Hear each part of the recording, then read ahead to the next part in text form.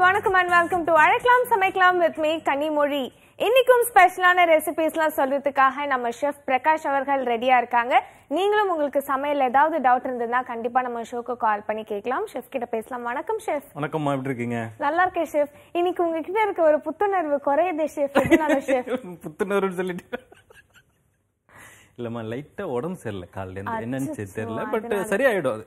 Chef எங்களுக்கெல்லாம் நீங்க வந்து உடம்பு நல்லா இருக்கிறதுக்கு ரெசிபி சொல்லிட்டு உங்களுக்கே இப்படி ஆயிடுச்சு ஷெஃப் நினைச்சு வருந்துகிறோம் ஷெஃப் நாங்க எல்லாருமே உங்களுக்கு சீக்கிரமா உடம்பு குணமாகணும். ரொம்ப நன்றி என்ன டிப் ஆஃப் தி டே சொல்ல போறீங்க இன்னைக்கு டிப் ஆஃப் தி டே வந்து பாத்தீங்கன்னா நம்ம மாங்காய் வத்தல் இந்த மாதிரி வத்தல் பார்த்துட்டு இருக்கோம்ல. அதுல வந்து சுண்டக்காய் வத்தல். ஓகே ஷெஃப் ஸோ சுண்டக்காய் வத்தல் எப்படி வீட்ல பண்றது அப்படின்னு ரொம்ப ஈஸியா பண்ணலாம். சுண்டக்காய் வாங்கிட்டு வந்தோன்னா அந்த காம்பு இருக்கும்ல அதை எடுத்து கிள்ளிட்டு நல்லா கழுவிடுங்க. கழுவிட்டு ஒரு பாத்திரத்தில் ரெண்டு டம்ளர் தண்ணி வச்சு தண்ணி கொதிக்கட்டும். அதில் கொஞ்சமாக கல் உப்பு கொஞ்சமாக மஞ்சத்தூள். இந்த சுண்டைக்காய் அதில் போட்டு ஒரு ரெண்டு மூணு கொதி வர வரைக்கும் விடுங்க. நல்லா கொதி வந்ததுக்கப்புறமா அந்த தண்ணியில் இருக்கட்டும் கொஞ்ச நேரம் இருக்கட்டும். அதுக்கப்புறமா வடிகட்டிட்டு வெயில்ல காய வச்சீங்கன்னா அதுவே நல்லா வெடிப்பு விட்டுரும் அது நல்லா காய வச்சதுக்கு அப்புறமா நீங்கள் சுண்டக்காய் வத்த குழம்பு பண்ணலாம். இல்லை அதை ஆயிலில் ஃப்ரை பண்ணிட்டு தயிர் சாதம் இருக்குல்ல தயிர் சாதம் பண்ண பிறகு ஒரு அஞ்சு நம்பர் சுண்டக்காயை அதை ஆயிலில் ஃப்ரை பண்ணி எடுத்துகிட்டு அதை பவுடர் பண்ணி பண்ணிட்டு தயிர் சாதத்துல மேல போட்டு சாப்பிட்டீங்கன்னா அவ்வளோ சுவையா இருக்கும். கண்டிப்பா ட்ரை பண்ணி பாருங்க. ஓகே இப்ப நம்ம ஷோட ஃபர்ஸ்ட் காலர் லைன்ல இருக்காங்க. பேசலாம். வணக்கம். ஹலோ வணக்கம். உங்க பேர் சொல்லுங்கம்மா. பவித்ரா. எங்க இருந்து கால் பண்றீங்கம்மா? மதுராந்தகம். ஓகே எப்படி இருக்கீங்கம்மா? நல்லா இருக்கேன். நீங்க எப்படி இருக்கீங்க? நாங்க எல்லாரும் ரொம்ப ரொம்ப நல்லா இருக்கோம். நன்றிம்மா. சாப்பிட்டாச்சுங்களாம்மா? செஃப் இல்ல இனிமே தான் சாப்பிடணும். சரிங்கம்மா. ஷெஃப் கிட்ட பேசணுங்களா? பேசுங்கம்மா. வணக்கம்மா. ஓகே ஹலோ வணக்கம்மா. ஹலோ சார் ஆ எப்படி இருக்கீங்க? நல்லா இருக்கம்மா நீங்க எப்படி இருக்கீங்க? நீங்க ஏற்கனவே ஃபோன் பண்ணியிருந்திருக்கீங்களாம்மா இல்ல இல்ல நான் இப்பதான் ஃபர்ஸ்ட் பண்றேன். ஃபர்ஸ்ட் டைமா என்ன குழம்பு வச்சீங்க வீட்ல இன்னைக்கு? இன்னைக்கு வந்து மோர் குழம்பு. ஆ அப்படியா? சூப்பர். என்ன போட்டு பெரட தொகையல் ஓ சூப்பர்மா. என்ன மோர் குழம்புமா? மோர் குழம்பு வெண்டைக்காய் போட்டு சார். ஆ வெண்டைக்காப்பட்டா ஓகே. என்ன அரிசி பருப்பு வச்சு பண்ணி. சரி சரி சரி சரி. அதாவது அந்த திக்னிக் ஏஜென்ட் கடலை மாவு கலக்காம அரிசியும் தோரம் பருப்பும் சேர்த்திருக்கீங்க. ஆமா ஆமா ஆமா சில ஊர்கள்ல அந்த மாதிரி பண்றாங்க. இந்த தஞ்சாவூர் திருவாரூர் அந்த சைடுல அப்படிலாம் அப்படி பண்றாங்க. ஓகேம்மா ரொம்ப நல்லது. என்ன சந்தேகமா கேட்க போறீங்க? தோசை பண்ணா ஒரே ஒயிட்டா வருது சார். சரிம்மா. கவனிங்கம்மா நான் சொல்றேன். பின்னாடினே தெரியல. ரெண்டுமே ஒரே பக்கம் மாதிரி இருக்கு. சரிம்மா சரிம்மா. கவனிங்க நான் சொல்றேன். தோசை வந்து ஊத்துனா வந்து வெள்ளையா இருக்கு அப்படின்றாங்க. இவங்க தோசைக்கு அரைச்சாங்களா இல்ல இட்லிக்கு அரைச்சாங்கன்னு தெரியல. எதுக்கு எப்படி அரைச்சாலும் சரி இல்ல இட்லி மாவு அரைச்சாலும் சரி இல்ல தோசை மாவு அரைச்சாலும் சரி அது கூட ரவை சேர்த்துங்க வேற எதுவுமே வேணாம். ரவை சேர்த்துங்க. ரவை அதாவது இப்போ ஒரு டம்ளர் அளவுக்கு தோசை மாவு எடுக்கிறீங்க அப்படின்னா ரெண்டு ஸ்பூன் ரவை சேர்த்து பாருங்க. கலர் வருதான்னு வரலைன்னா இன்னும் ஒரு ரெண்டு ஸ்பூன் சேர்த்துங்க. இல்லை ஒரு ஸ்பூன் மூணு ஸ்பூன் கூட சேர்த்துங்க. நல்லாவே மிக்ஸ் பண்ணிட்டு வச்சிருங்க அந்த தோசை மாவில். அதுக்கப்புறமா ஊற்றி பாருங்க. நல்ல சவுந்து இருக்கும் நல்ல கிறிஸ்பாகவும் இருக்கும். இல்லை சார் இது நான் ட்ரை பண்ணி பார்த்துட்டேன். சரியாக வரல அப்படின்னா கடலை மாவு இருக்குல்ல அது ஒரு ஸ்பூன் தண்ணியில கரைச்சி இதை சேர்த்துட்டாலும் சரி இல்ல இந்த மாவுல போட்டு அதுக்கப்புறமா நல்லா விஸ்க் வச்சு நல்லா மிக்ஸ் பண்ணிட்டு எல்லாம் லம்ஸ் லம்ஸாம இருக்கும். அதாவது முட்டை முட்டையா இருக்கும்ல அதெல்லாம் நல்லா கரைச்சிட்டு ஊத்தி பாருங்க. இந்த இது இது ரெண்டுமே செஞ்சு பாருங்க. ரொம்ப சூப்பராகவும் இருக்கும் நல்ல கலராகவும் இருக்கும். கடைகள்ல எப்படி இருக்கோ அதே மாதிரி இருக்கும். கண்டிப்பா ட்ரை பண்ணி பாருங்க. தேங்க்ஸ் ஃபார் காலிங் அடுத்த காலர் லைன்ல இருக்காங்க. வணக்கம். வணக்கம். வணக்கம். உங்க பேர் சொல்லுங்க. என் பேர் வசந்தாமா கனிமொழி. ஏன் எங்க இருந்து கால் பண்றீங்கம்மா? திருச்சி மாவட்டம் துறையில இருந்துமா நான் முந்தா நாள் கூட பேசினேன் உங்ககிட்ட. என்ன சொல்றாங்க? முந்தா நாள் கூட பேசினாங்க ஓகே கீரை கூட்டு கேட்டேமா சரிங்கம்மா சரிங்கம்மா. ட்ரை பண்ணி பாத்தீங்களா ரெசிபி ஆ ட்ரை பண்ணி பார்த்தேம்மா. நல்லா இருக்கு. இன்னைக்கு தான் செஞ்சேன். ஓகேம்மா எப்படி வந்ததுமா நல்லா இருக்குமா சரிங்கம்மா. என்ன ரெசிபிமா இன்னைக்கு கேட்க போறீங்க? இன்னைக்கு தக்காளி சூப்பும் கீரை சூப்பும் கேட்கணும் சார்கிட்ட. ஓகேம்மா ஷெஃப் இருக்காங்க. பேசுங்கம்மா. வணக்கம்மா. சரிம்மா. ஹலோ வணக்கம். வணக்கம் சார் எப்படி இருக்கீங்க? நல்லா இருக்கேங்க சார் நீங்க நல்லா இருக்கீங்களா? நல்லா இருக்கம்மா. ரொம்ப நன்றிம்மா. ரொம்ப நன்றிங்க சார் இந்த ப்ரோக்ராம் தான் எங்களுக்கு ரொம்ப பிடிச்சிருக்கு இதெல்லாம். அப்படிங்களா? ரொம்ப ரொம்ப சந்தோஷமா கீரை கூட்டு தான் நான் செஞ்சு பாக்குறேங்க சார் எல்லாமே நல்லா வருது. சரிம்மா சரிம்மா. கீரை கூட்டு செஞ்சீங்களா இன்னைக்கு? சரிங்க சார் அதுல ஒரு டிப்ஸ் சொல்றேன். என்ன அப்படின்னா நீங்க அதுல வந்து இந்த வடவம் தெரியுமா உங்களுக்கு? தெரியும் சார் அதை தாளிச்சு போட்டு ஒரு நாள் செஞ்சு பாருங்க. அவ்வளவு சூப்பரா இருக்கும். சரிங்க சார். சரி ஓகே. உங்க சந்தேகம் சொல்லுங்க. தக்காளி சூப்பு கீரை சூப்பு இது ரெண்டும் கொஞ்சம் சொல்லுங்க சார். எது சொல்ல? ஏதாவது ஒண்ணு சொல்றேனே. தக்காளி சூப்பு சொல்லுங்க சார். சரி கவனிங்க நான் சொல்றேன். தக்காளி சூப்பு ரொம்ப ஈஸியா பண்ணலாம். நிறைய பேர் நினைச்சிட்டு இருக்கீங்க நிறைய விஷயம். எல்லாத்தையும் ஒண்ணா வேக வைங்க. அரைங்க. அரைச்சிட்டு கொதிக்க விட்டாவே தக்காளி சூப்பு ரெடி ஆயிடும். ஆனா இதுக்கு வந்து பெங்களூர் தக்காளி எடுத்துக்கிட்டீங்கன்னா ரொம்ப நல்லா இருக்கும். ஏன்னா நம்ம நாட்டு தக்காளி புளிக்கும்ல. அதனால சொல்றேன். பெங்களூர் தக்காளி நாலு தக்காளி. ஒரு அரை வெங்காயம் ஒரு ரெண்டு முந்திரி பருப்பு அதிலே தனியா விதை இருக்குல்ல அது சேர்த்துக்கலாம். கொத்தமல்லி இருக்குல்ல இலை இருக்குல்ல அது கூட சேர்த்துக்கலாம். ஒரு பட்டை ஒரே ஒரு கிராம்பு ஒரே ஒரு பிரிஞ்சி இலை அதிலே பிச்சு போட்டுங்க. பாத்திரம் எண்ணெய் போட்டு இதெல்லாம் ஒன் பை ஒன்னாக ஒரு பட்டை ஒரு கிராம்பு பிரிஞ்சி எல்லாம் இருக்குல்ல அது போட்டு தாளிங்க. அதுக்கப்புறமா பூண்டு ஒரு அஞ்சு பல் அந்த அளவுக்கு எடுத்து அதுலேயும் தட்டிட்டு போட்டு வதக்கிடுங்க வதங்கினதுக்கு அப்புறமா வெங்காயமும் வதக்குங்க. அதுக்கப்புறமா தக்காளியும் போட்டுருங்க தக்காளி வதக்கும் போது நல்லா கரைஞ்சி போடணும். ஓரளவு தண்ணியாக இருக்கும்ல அந்த மாதிரி ஆறணும். ஆனதுக்கு அப்புறமா கொத்தமல்லி இலை போட்டுருங்க. கொத்தமல்லி இலை போட்டு உப்பு பார்த்துங்க கொஞ்சமாக காரம் பத்தலை அப்படின்னா சிவப்பு மிளகாத்தூள் இருக்குல்ல அதுவும் சேர்த்துக்கலாம். மிளகு தூள் இருக்குல்ல அதுவும் சேர்த்துக்கலாம். இல்ல முழு மிளகு கூட சேர்த்துக்கலாம் நீங்க தாளிக்கும் போது இதெல்லாம் நல்லா வதக்கிட்டு ஆறணும். ஆறுனதுக்கு அப்புறமா தண்ணி ஊத்தி நல்லா நைஸா அரைச்சிருங்க. அரைச்சிட்டு வடி கட்டிட்டு மொத்தமா உங்களுக்கு எவ்வளவு சூப் வேணுமோ அந்த அளவுக்கு தண்ணியாவே நல்லா ஊத்தி அரைச்சு வடி கட்டிட்டு ஒரு பாத்திரத்துல போட்டு நல்லா கொதிக்க விட்டீங்கன்னா போதும் சூப்பு ரெடி ஆயிடும். உப்பு பார்த்துங்க வே- பத்தல காரம் பத்தல அப்படின்னா மிளகு தூள் சேர்த்துங்க. அவ்வளவு சூப்பரா இருக்கும். கண்டிப்பா ட்ரை பண்ணி பாருங்க. நம்ம ஷோட அடுத்த காலர் லைன்ல இருக்காங்க. பேசலாம். வணக்கம். வணக்கம். வணக்கம்மா உங்க பேர் சொல்லுங்க. செந்தமிழ் பேசுறேம்மா சென்னையில இருந்து. செந்தமிழ் உங்க பேரே ரொம்ப அழகா இருக்கேம்மா. எப்படி இருக்கீங்க? நலமா இருக்கேன். நீங்க எப்படி இருக்கீங்க? நாங்க எல்லாரும் ரொம்ப ரொம்ப நல்லா இருக்கோம்மா. என்ன ரெசிபிமா கேட்க போறீங்க? நெல்லிக்காய் சாதம் எப்படி செய்யலாம்? நெல்லிக்காய் சாதம். இன்னைக்கு நீங்க வீட்ல என்ன சமையல் பண்ணிருக்கீங்க? இன்னைக்கு சாம்பார் வச்சுட்டு வெண்டைக்காய் பொரியல் பண்ணேன். ஓகேம்மா. ஷெஃப் இருக்காங்க பேசுங்கம்மா. வணக்கம்மா. வணக்கம் சார். எப்படி இருக்கிறீங்க? நல்லா இருக்கம்மா. நீங்க எப்படி இருக்கீங்க? நலமா இருக்கேன் சார் சரிம்மா. நெல்லிக்காய் சாதம் தானம்மா கேட்டிருக்கீங்க? ஆமா ஆமா. நீங்க இதுக்கு முன்னாடி ஒரு நாள் போன் பண்ண மருந்து குழம்பு எப்படி வைக்கிறதுன்னு. சரிம்மா. நான் செஞ்சு பார்த்தேன் நல்லா இருந்தது. ரொம்ப நன்றிம்மா. இந்த நெல்லிக்காய் சாதமும் செஞ்சு பாருங்க ரொம்ப சூப்பராகவே இருக்கும். ரொம்ப நன்றிம்மா. கவனிங்க நான் இப்போ நான் சொல்கிறேன் நெல்லிக்காய் சாதம் எப்படி பண்ணுறது அப்படின்னா எல்லாருமே ட்ரை பண்ணி பாருங்க இந்த வெயில் காலத்துக்கு ரொம்ப ரொம்ப நல்லது.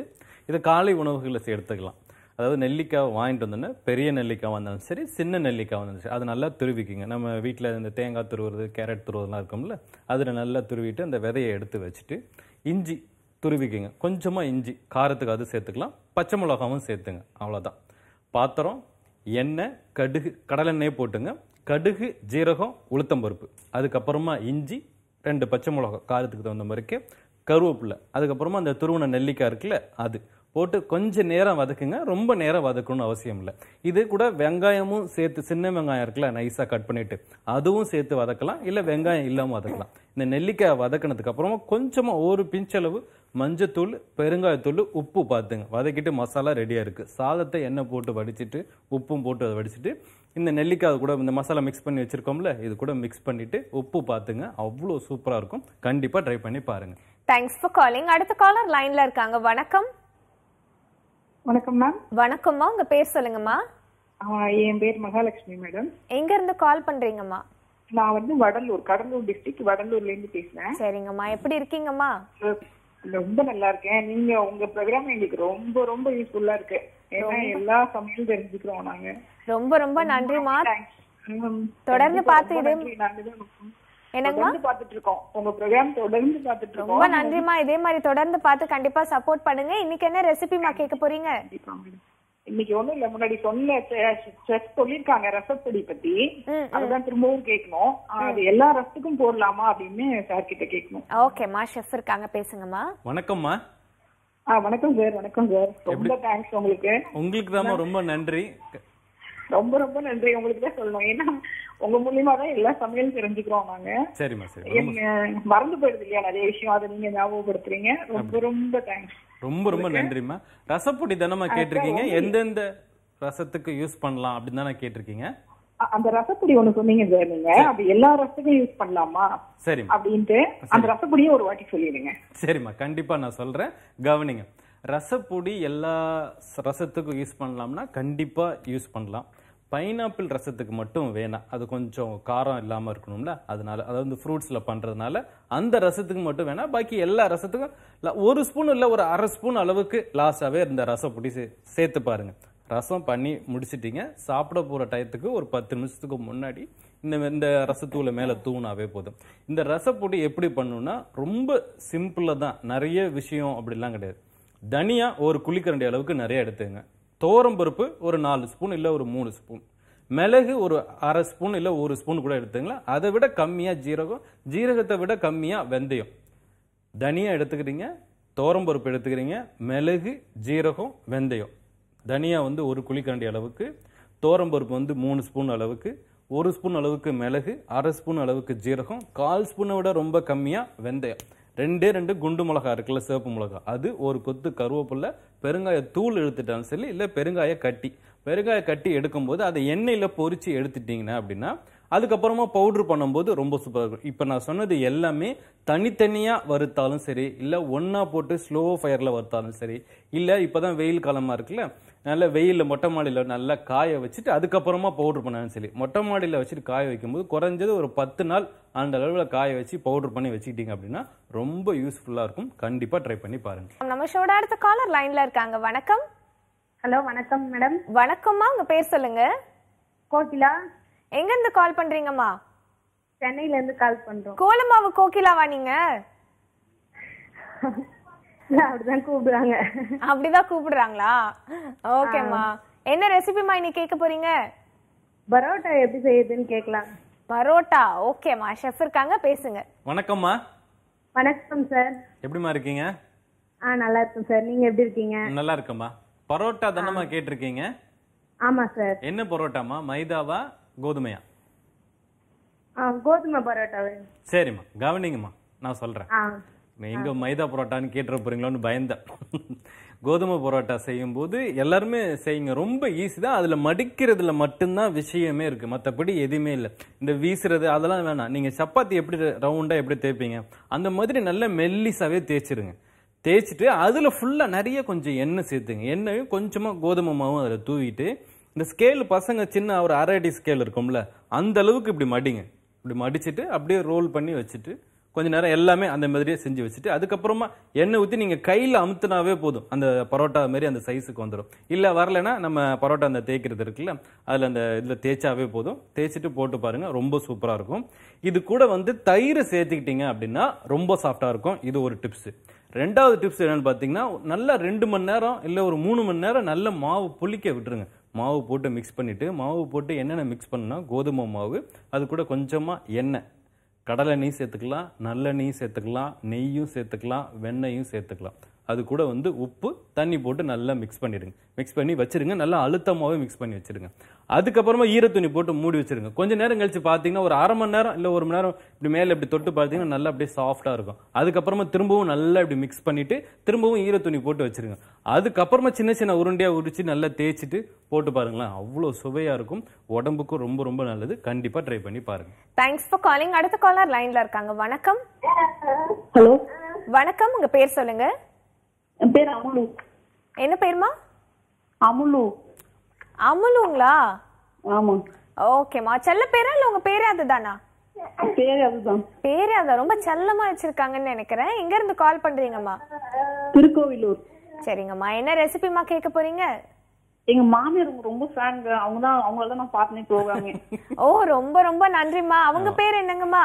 ரொம்ப நன்றி. அவங்க பேர் லீலா. ஒரு ஹாய் சொல்றேன் அவங்களுக்கு அவங்க Okay, கண்டிப்பா லீலா program அம்மா பண்ண உங்களுக்கு ரொம்ப-. லீலாமா உங்களுக்கு பெரிய பெரிய வணக்கங்கள். ரொம்ப ரொம்ப நன்றி எங்க ஷோவை பாக்குறதுக்கு. என்னைக்கும் எங்களை bless பண்ணுங்க.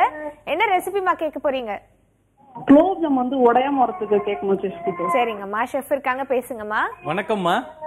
வணக்கம் சார் எப்படி இருக்கீங்க? நல்லா இருக்கம்மா. நீங்க எப்படி இருக்கீங்க? ப பையனா பொண்ணாம்மா உங்களுக்கு? ஆ பொண்ணு சார். பொண்ணா? என்ன பேர் வச்சிருக்கீங்க? பைந்தவி. பைந்தவிங்களா? ஆமாங்க சார். சரி சரி சரி. குலோப்ஜான் வந்து உடையும் போது செய்யும் போது உடைஞ்சு போயிடுது. இல்ல சார் எண்ணெயில போட்டு எடுத்த உடனே உடைஞ்சிடுது ஜீரால போட்டாலும் உடைஞ்சிடுது. சரிம்மா கவனிங்க நான் சொல்றேன். கவனிங்கம்மா நான் சொல்றேன் இப்போ. குலோப்ஜான் அந்த மாதிரி உடையுதுன்றாங்க. அந்த மாதிரி உடையாம இருக்கணும் அப்படின்னா பால் பவுடர் இருக்குல்ல அதுவும் சேர்த்துக்குங்க. நீங்க குலோப்ஜான் மிக்ஸ் வாங்கும் போதே பால் பவுடரும் ஒரு சின்ன இதுல கிடைக்குது. அது சேர்த்து பாருங்க. அது போட்டு மிக்ஸ் பண்ணி பாருங்க. இது ஒரு டிப்ஸ் ரெண்டாவது டிப்ஸ் பால் இருக்குல்ல காய்ச்சின பால். ஆறுனதுக்கு அப்புறமா அதுவும் ஒரு ஸ்பூன் போட்டு நல்லா அந்த மாவு மிக்ஸ் பண்ணிட்டு கொஞ்சம் நேரம் விடுங்க. ஒரு அரை மணி நேரம் ஒரு மணி நேரம். விட்டதுக்கு அப்புறமா திரும்பவும் சின்ன சின்ன உருண்டை உருட்டி பாருங்களேன். அந்த உருண்டை உருட்டும் போதே கையில வந்து எண்ணெய் பிசுன்னு வரும். அப்படி வந்துச்சுன்னா குலோப்ஜான் கரெக்டா இருக்குன்னு அர்த்தம். கண்டிப்பா ட்ரை பண்ணி பாருங்க. தேங்க்ஸ் ஃபார் காலிங் அடுத்த காலர் லைன்ல இருக்காங்க. வணக்கம். வணக்கம். வணக்கம். உங்க பேர் சொல்லுங்க. என் பேர் கேத்ரின் சேலத்துல இருந்து பேசுறேன். ஓகே எப்படி இருக்கீங்கம்மா? பை காட் கிரேஸ் நல்லா இருக்கேன். நீங்க ரெண்டு பேரும் எப்படி இருக்கீங்க? நாங்க எல்லாரும் ரொம்ப ரொம்ப. நல்லா இருக்கோம். நன்றிமா தேங்க்யூ என்ன ரெசிபிமா கேட்க போறீங்க? விவிகா விவிகா எப்படி தெரியல இனிப்பு இட்லி செய்வாங்களா விவிகா? இனிப்பு இட்லி விவிகா. விவிகா விவிகான்னு சொல்லுவாங்க விவிகா.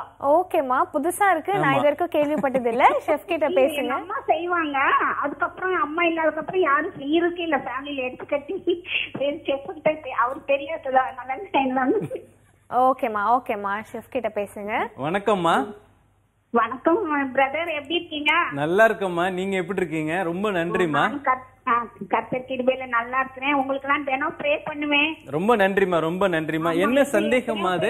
பசி அது எப்படி ருசியா செய்யணும்னா சொல்லி தரீங்களா? அதுக்காக உங்களுக்கு கர்த்தர் கிருபை எப்போதுமே இருக்கும். காட் ரொம்ப ரொம்ப நன்றிம்மா. அது பேர் என்னம்மா சொன்னீங்க? விவிகா. விவிகான்னு சொல்லுவாங்களா அதுல முந்திரி திராட்சை எல்லாம் போட்டுப்பாங்க இட்லி மாதிரி ஊத்தி எடுத்து அது எப்படின்னு தெரியல மறந்து போயிட்டேன். விவிகா. நான் இன்னொரு நாள் சொல்றேன் கண்டிப்பா. அது எனக்கு சரியா புரியல நீங்க என்ன வார்த்தை அப்படின்ட்டு. கண்டிப்பா பார்த்துடுங்க. இப்போ ப்ரோக்ராம் பார்த்துட்டே இருங்க. இன்னொரு நாள் நான் கண்டிப்பா அது நெல்லிக்காவோ இல்ல விவேக்காவோ ஏதோ ஒன்று சொல்றாங்க. அது கண்டிப்பா இன்னொரு நாள் நம்ம சொல்லலாம். Okay thanks for calling chef ரொம்ப ரொம்ப நன்றி ஷெஃப். சூப்பரான ரெசிபி சொன்னீங்க உங்களுக்கு உடம்பு முடியலனா கூட எங்களுக்காக நீங்க டைம் ஸ்பெண்ட் பண்ணி ரெசிபி சொன்னதுக்கு ரொம்ப. ரொம்ப நன்றி ஷெஃப் கால் பண்ண எல்லா வியூவர்ஸ்க்கும் ரொம்ப ரொம்ப நன்றி. லைன் கிடைக்காத வியூவர்ஸ்க்கு சாரி தொடர்ந்து கால் பண்ணுங்க. கண்டிப்பா லைன் கிடைக்கும். இதே மாதிரி வேறொரு இன்ட்ரெஸ்டிங்கான எபிசோட்ல சந்திக்கிறேன். அதுல this is Kanimozhi signing off நாளைக்கலாம் சமைக்கலாம்.